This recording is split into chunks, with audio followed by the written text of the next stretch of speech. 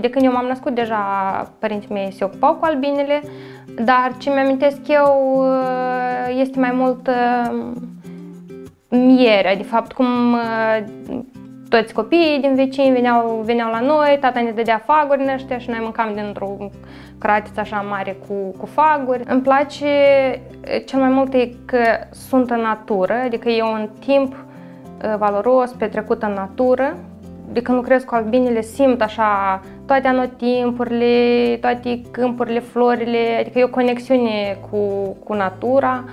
Uh, și apicultura mi se pare un fel de, nu știu, un joc, un challenge, o grămadă de probleme sunt de rezolvat, de luat decizii, adică asta e interesant, că nu-i, nu-i plictisitor. Și fiecare an parcă e diferit, adică parcă ai spune că ai, ai trecut un an de apicultură, cam tot aceeași o să faci la anul, dar de fiecare dată e ceva altfel și trebuie să găsești altă soluție sau înveți altceva nou. În 2012, când am început afacerea, eram chiar printre primii tineri, mai ales femei, care se implică în, în domeniul apiculturii. Când mergeam la adunări de apicultori, erau mai mult bărbați în vârstă, asta era um, peisajul.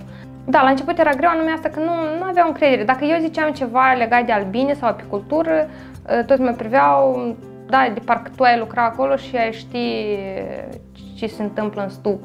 Dar în același timp nu au fost piedici, să zici. Doar așa, poate o atitudine mai ostilă în unele situații, dar nu n-am întâmpinat piedici.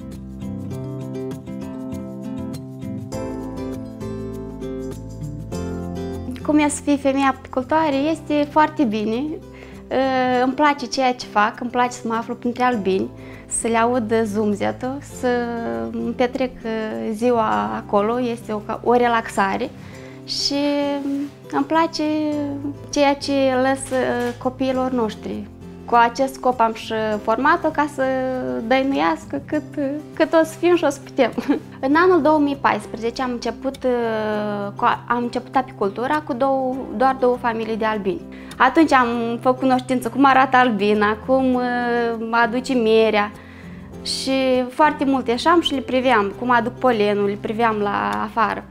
Copiii de asemenea erau cointeresați, erau bucuroși.